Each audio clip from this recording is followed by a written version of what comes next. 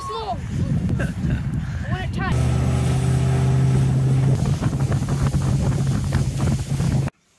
Here I am in the portside engine room. Had a problem with the port engine where it was stubborn to shut down. So I'd hold in the red button on the control panel and the engine would sort of uh, sputter a bit and take a while to actually shut down. And I've since worked out what the problem is. Over here is a solenoid. This solenoid is connected to 12 volts, and when I push the red button on the control panel, I get 12 volts over these terminals here. That solenoid pulls on this cable over here, which is a bit like a brake cable on a bicycle, and that cable follows through all the way here to this lever. This lever is the fuel shutoff. So if you push this lever in when the engine is running, it shuts off the fuel supply to the engine and starves the engine of fuel and shuts the engine down. the problem is that when I put 12 volts on this solenoid, Chris?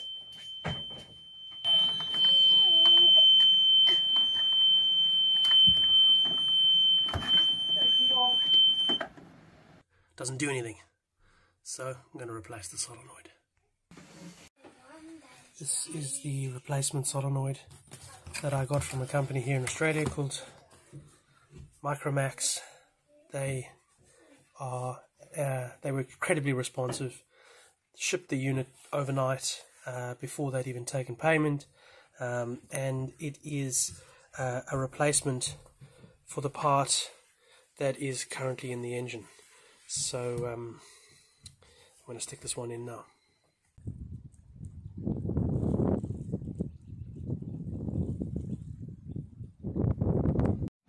Here the boy is making a camp in the mangrove. Oh, I'm not fine, so I can explore further. Yeah, I'm gonna come with you. You're gonna come with mum. No, I'm gonna. It's bigger.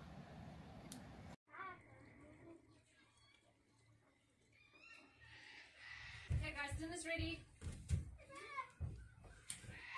Thank you, everybody, for getting the engine fixed. Oh yeah, they did that quick too. Yeah, getting it done.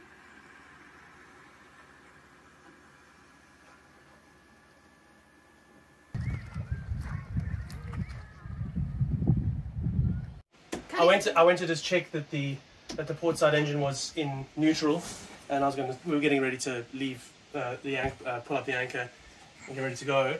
And uh, I've had to kind of fight the, the, the, the, the throttles, mainly getting in and out of gear a bit before. And I gave it a bit of energy, and then I just heard this like splintering um, sound just behind where the gear levers are, or where the throttles are. So then we went to take a look over here, which is where the coupling is between the gear lever and the the cable. And there was a whole lot of splintered plastic, which looked a little bit like like like this.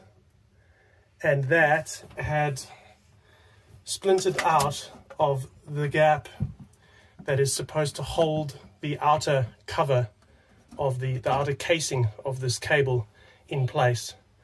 Um, and so clearly nothing's nothing's working now as well because there's no resistance on the cable. So what I'm trying to do is create some kind of a washer that I can stick around there that will hold this outer casing in place. The options we had were these two stainless washer. That's a nice wide diameter, which I quite like, and I might try that second. But this is a like a split ring, which is going to make the job slightly easier. I'm in the process now of modifying one of these washers um, uh, so that um, we can slip it around the uh, that that cable housing, and that's where I've got to so far. Just been uh, widening the gap there a little bit, and we'll see if I can slip it around. So that washer does work; it fits in place, which is great. I'll just hold it in that plastic casing for now, and we'll see how that goes. If that works, so we can shift gears with the lever, then I think we're okay for now. And then I'll put that casing back together. So. I'll-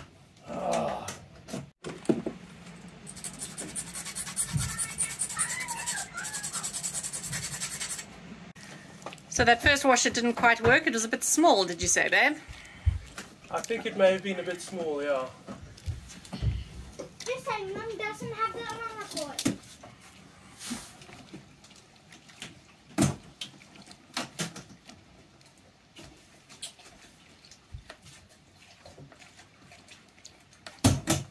Man.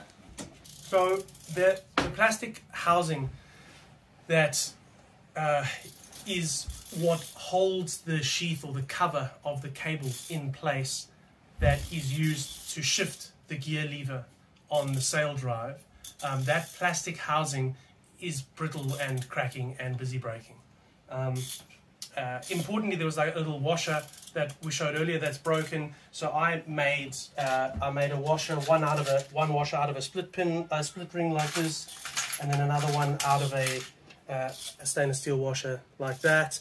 There, I just cut the sides open on both of those so they were a bit more U-shaped, and then I could slip them around the collar on the cable and then slot them into the plastic case. But because the plastic case is so brittle, um, I've ended up wrapping cable ties around the whole thing, and it's like it's definitely not ideal. So I'll need to replace that part. But it does seem now like I'm able to shift gear properly um, on the port side engine, which is great. Um, so for now, I think we'll be able to, to get going. We're 15 minutes late for the Spit Bridge, so we're going to have to aim for a later time. I think there's an 11 o'clock or 11 a.m. and then after that only lunchtime. So so there was a problem on on our port side engine where pushing the red stop button in the control panel wasn't killing the engine, or at least wasn't killing it very effectively. The engine would kind of splutter um, and it finally die. And I've since worked out that there are generally two ways to stop uh, a diesel engine by cutting off the fuel. So cutting off the fuel is a way to stop the diesel engine, and there are two ways to do that. One is mechanically, and the other is uh, mechanically but controlled electrically. So in our case, it's a, a mechanical shut-off controlled electrically, meaning you push a button that sends 12 volts to a relay. A relay turns on, sends 12 volts with a higher current capability to a solenoid. The solenoid then is an electromagnet effectively, which turns electrical energy, into mechanical energy. It pulls and does the work of someone manually pulling a lever out that kills the engine. This is the old solenoid on that side, which I thought was toast. The way a solenoid works basically is you've got coils inside the body. It's relatively heavy. Those coils act like an electromagnet. The mechanical side here is an arm which is uh, magnetic, and when that when the, the coils get energized, creates an electromagnet and pulls this arm in, and that arm then gets pulled in all the way. Um, I think what had happened with the solenoid, even, I, I, bought a new one and I replaced, and it took me a while to actually find the replacement part, and ended up going to a company called Micromax, and they were extremely efficient. It wasn't a very cheap piece, but they were a fantastic company, so I highly recommend them, Micromax. Um, the problem, I think, is that I had pulled out this arm a bit too much. It had extended a bit too far, and even though the coils were being energized, it wasn't pulling the arm in. So I realized that at about 2 o'clock this morning when I woke up worrying about the anchor. Um, and I tried that in. I tried that today. I just pushed that arm in a little bit, and suddenly the solenoid is working. So I'm getting engine shut off, which is great. So actually, there's a little bit of progress today. Um, I feel uh, I feel like we've got enough to be able to get going. I might put a few more cable ties around that um, part inside there that we were talking about previously to change gears. Um, and then ready to go.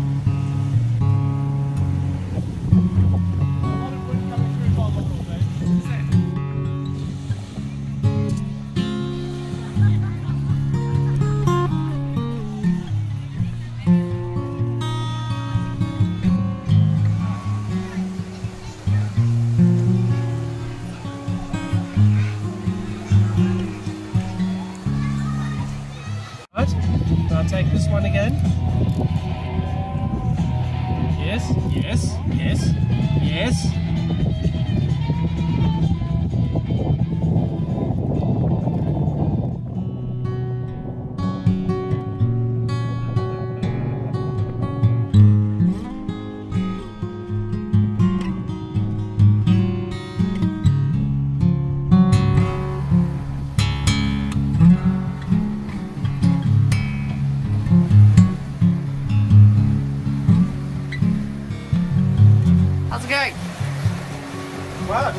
on. It was a good job to clean all the gunk off the hull. I think we, being a bit cleaner, we're a little bit smoother down below now, and so now we're flying along. Um, we're going at seven knots here now, and it's effortless.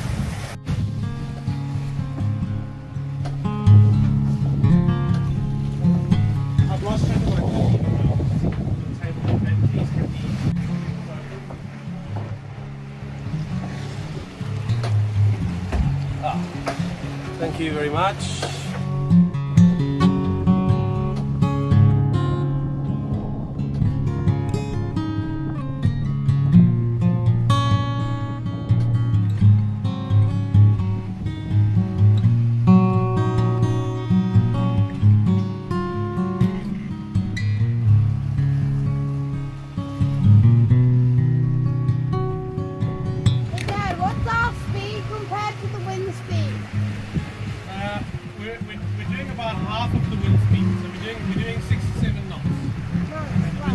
About about double that.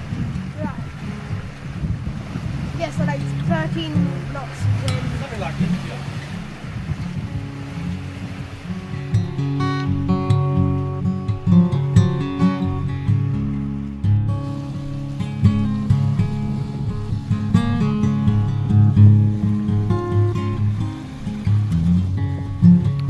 Bye bye, Sydney Harbour.